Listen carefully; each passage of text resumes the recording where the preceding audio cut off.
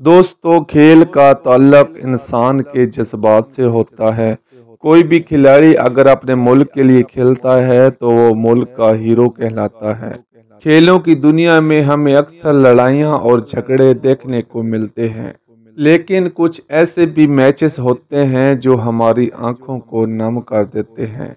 या फिर लंबे अरसे के लिए रंजीला कर देते हैं। दोस्तों, आज की इस वीडियो में हम आपको दुनिया में होने वाले कुछ ऐसे मैचेस के बारे में बताएँगे, जिन्होंने लाखों क्रिकेट शायकीन को रुला दिया। तो वीडियो में आगे बढ़ने से पहले चैनल को सब्सक्राइब करके बेल आइकन दबा दें। South Africa versus New Zealand. दोस्तों, साल 2015 के वर्ल्ड कप का सेमीफाइनल किसे याद नहीं? मज़बूत अफ्रीकन टीम को कीवीज के खिलाफ फेवरेट करार दिया जा रहा था, क्योंकि साउथ अफ्रीकन टीम के परफॉर्मेंस से हार का सवाल ही पैदा नहीं होता था। मगर साउथ अफ्रीकन टीम किसी और दिन एक बेस्ट फील्डिंग टीम मानी जाती थी। आज कैचेस और रन आउट को छोड़ते हुए उन्होंने 2015 की वर्ल्ड कप जीतने का ख्वाब भी खो दिया। इस मैच के बाद मैदान में जो मनाजर देखे गए, वो किसी भी क्रिकेट फैंस के दिल को तोड़ने के लिए थे, जहाँ एक तरफ़ कीवीज टीम सेमीफाइनल जीतने का जश्न मना रही थी। तो वहीं दूसरी जानब साउथ अफ्रीकन टीम की आहें और सिस्कियाँ रुकने का नाम ही नहीं ले रही थी। इन मनाजिर ने न सिर्फ़ साउथ अफ्रीकन टीम बल्कि फैंस को भी तोड़ दिया। नंबर दो, पाकिस्तान वर्सेस ऑस्ट्रेलिया। दोस्तों, ये बात 2015 के वर्ल्ड कप की है, जब वहाब रियाज ऑस्ट्रेलियन टीम के लिए कहर साबित हुए। पाकिस्तानी पेसर की इस जरात मंदाना स्पेल को इनके फैंस और शायकीन क्रिकेट कभी भी नज़रअंदाज नहीं कर सकते। उन्होंने अपनी तेज़ रफ्तार बाउंसर से ऑस्ट्रेलिया के मैकल क्लार्क शेनवर्सन और वार्नर को घुटने टेकने पर मजबूर कर दिया। ये पाकिस्तान और ऑस्ट्रेलिया के माबेन एक किस्म का क्वार्टर फाइनल था। पाकिस्तान इस मैच को काफ़ी हद तक जीत चुका था, लेकिन हसन अली न सिर्फ़ वहाब, रियाज की मेहनत, बल्कि पाकिस्तान के चैंपियन बनने का ख्वाब भी। चकना चूर कर दिया। उन्होंने वाटसन का आसान सा कैच छोड़कर पाकिस्तान को वर्ल्ड कप से बाहर कर दिया।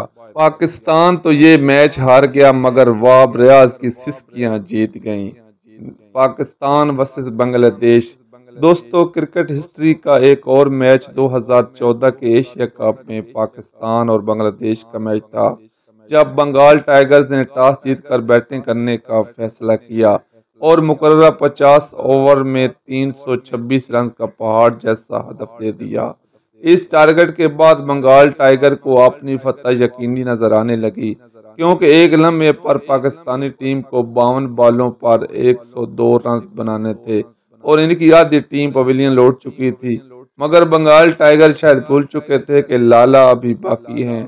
बूम बूम इस नाजक सूरत हाल में क्रीज पर आए और आते ही हसब रवायत लाठी चार्ज शुरू कर दिया। इस मैच में अफरीदी को बॉल नहीं, बल्कि फुटबॉल नज़र आ रहा था, जो मुसलसल लाला के बैट से टकरा कर बाउंड्री के बाहर सैर करता।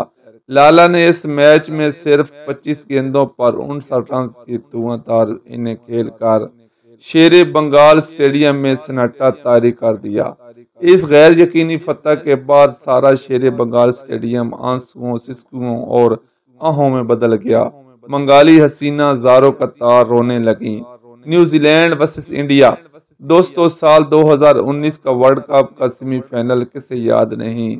जिसमें न्यूजीलैंड ने टॉस जीतकर बैटिंग करने का फैसला किया और जीतने के लिए इंडिया को 240 रन का टारगेट दे दिया। चेज करते हुए एक लम्हे के लिए इंडिया इस मैच से बाहर हो गया था, क्योंकि सिर्फ़ बानवे रन पर चार बल्लेबाज आउट हो गए थे। और सिर्फ़ दो ही बैट्समैन बचे थे जो इंडिया को इस मैच में फतह दिला सकते थे, और टीम को फाइनल में पहुँचा सकते थे। और वो दो बल्लेबाज कोई और नहीं, बल्कि जडेजा और एम एस धोनी थे। इन दोनों के दरमियान 116 रन की शानदार पार्टनरशिप कैम हुई। 48 में जडेजा आउट हुए और फिर तीसरी गेंद पर धोनी दो रन के चक्कर में रन आउट हो गए और यूँ न्यूजीलैंड ने 18 रन से मैच जीत लिया और इंडिया के वर्ल्ड कप जीतने का ख्वाब चकना चूर कर दिया। Pakistan versus India. दोस्तों, यूँ तो पाकिस्तान और इंडिया के माबेन हर एक मैच बहुत ज़्यादा थ्रिलिंग और हार्ड होता है, मगर एशिया कप 2014 में होने वाले पाकिस्तान और इंडिया का मैच बहुत ज़्यादा इमोशनल और दिल की धड़कनों को तेज करने वाला मैच था। इस मैच में इंडिया ने पाकिस्तान को जीतने के लिए 245 रन का टारगेट दिया। आखिरी ओवर में दस रन दरकार थे और पाकिस्तान की ऑलरेडी आठ विकेट गिर चुकी थीं। ओवर की पहली गेंद पर एक और विकेट गिर गई। अब सब लोग खामोश थे। स्टेडियम इमोशनल बन चुका था क्योंकि पाकिस्तान के पास अब सिर्फ़ एक विकेट थी और पाँच गेंदों पर दस रन बनाने भी थे।